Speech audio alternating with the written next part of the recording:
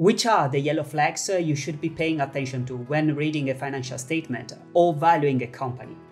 In today's video, I will summarize the most commonly observed warning signal that have historically anticipated trouble for companies and that then have been mirrored in a drop uh, in the stock price. So take out your notes because today you are gonna learn how to screen for those warning signals when reading a financial statement.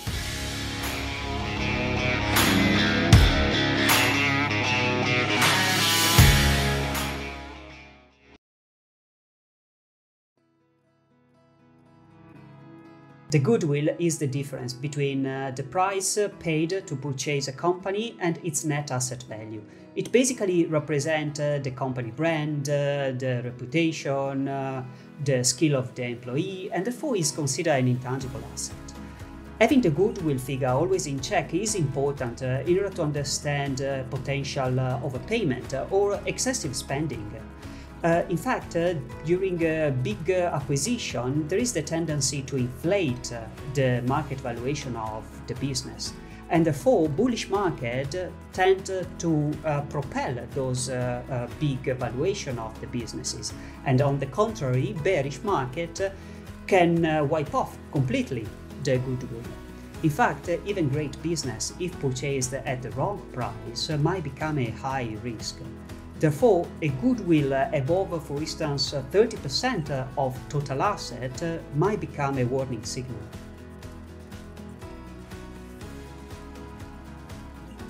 Receivable are the balance of money that uh, are due to the company because of the goods and services provided, but which have not yet uh, been transformed into cash, so they have not been paid yet.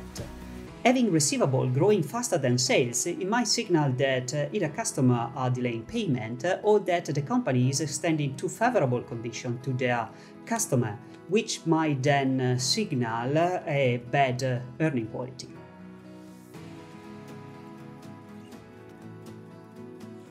Inventory represents the raw material used in the production of goods or the goods produced that are available for sale. As you can understand, this represents probably the most important asset a company has because uh, this is the primary source of possible earnings. Therefore, having uh, an inventory to sales ratio growing uh, quickly, it might signal that uh, the company is investing a lot in the inventory but is not able uh, to then sell those uh, uh, goods, or on the contrary, that uh, the sales are decreasing or growing slower than the inventory.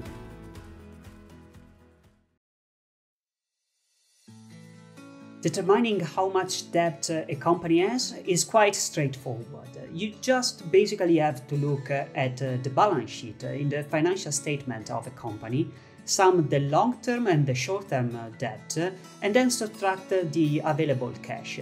This gives you the net debt uh, the company has. However, knowing uh, the amount of the net debt uh, doesn't really tell you the full story because it is important to understand the trend and also to be able to compare that figure with the peers of the company you are assessing. In terms of trend, it is important to understand whether the company is uh, coming from a high level of debt and is uh, significantly decreasing or even inverting the trend, or on the contrary, if the company has started from a low level of debt and debt has uh, started to increase exponentially. Moreover, comparing that figure with the one of the peers is important because the industry and the sector might require a certain level of debt. But having that uh, is not a bad signal per se, because ultimately companies have to invest in their growth, right? What is important to consider, on the contrary, is the company ability to pay off that debt. And in that respect, uh, it is worth having a look at the so-called leverage ratio, which basically is computed as the ratio between the net debt and the EBITDA, which you can find uh, in the income statement. I would say that uh, a level higher than uh, 2.5, 3, uh, then it might be considered uh, as a warning signal worth considering.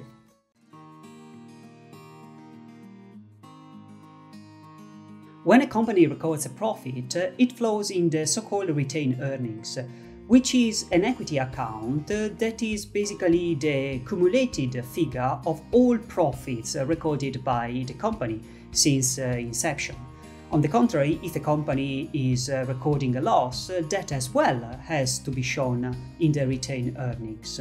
So, if a company is recording losses uh, that exceed all accumulated profit throughout the years, uh, then the retained earning account becomes negative. So, in the end, uh, a negative uh, retained earning account might signal the fact that the company has experienced significant losses or on the contrary, that is distributing dividend out of profit that has not made or not yet made.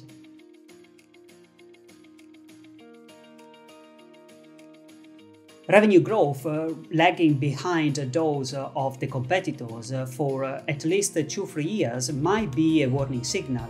In fact, it might signal that the company is uh, losing pricing power or is losing market share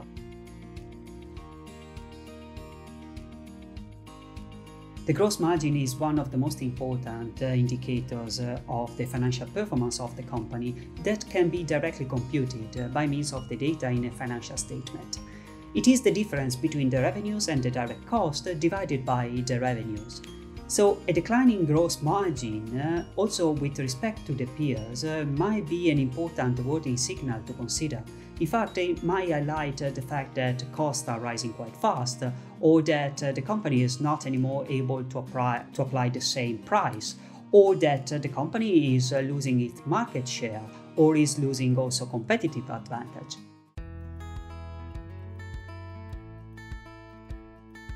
Net income is the profit that the company is able to generate because of its activity. On the contrary, cash flow from operation uh, represent uh, to some extent uh, the cash inflows and outflows. the link between the two is represented from the fact that the cash flow from operation start from the net income. However, having a, a, cash flow from operation uh, significantly below the net income uh, might be a yellow flag. In fact, uh, net income can be easily manipulated because there are non-cash items uh, like for instance uh, uh, amortization uh, expenses uh, that can be considered and fly into the net income calculation. Therefore, having a check between these two items, the net income and cash flow from operation, is very important because a discrepancy, a significant discrepancy between the two, might be a warning signal to consider as well.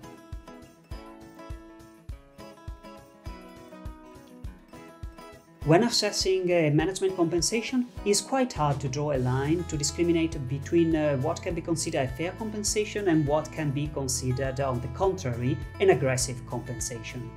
This topic might deserve a dedicated video. However, today I'm gonna give you some inputs uh, that should drive your assessment. The first one is how well the management have run the company. In particular, you have to look at uh, what uh, the management has promised and what they have delivered. If the management uh, was able to add value also in comparison with their peer, if the management uh, was consistently able to allocate capital in a profitable way, and then compare the compensation of the management of the company you are assessing and the compensation of the management of other peers. A second driver for your uh, valuation uh, should be the incentive alignment. In particular, it might be considered a warning signal uh, if the management incentive is skewed towards the short term, because this might signal also the incentive to take high risk, which is of course not aligned with the shareholder long-term incentive.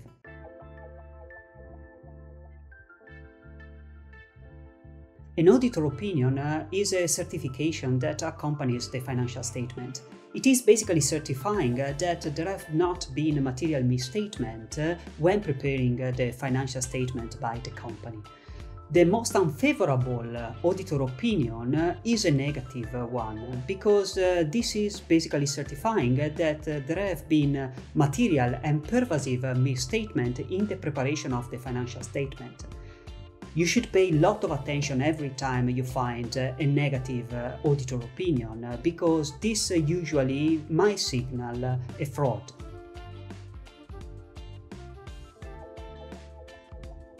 This video was a summary of the most commonly observed warning signals that have historically anticipated trouble for company and significant decline in their stock prices. If you want to remain up to date uh, and learn more about investing, uh, then don't forget uh, to give a thumbs up, subscribe to the channel and pin the notification bell. Also, please use the comment box below in case you want us to dig deeper into some of the aspects I touched upon during today's video. So that's all for today. Cheers and see you next time.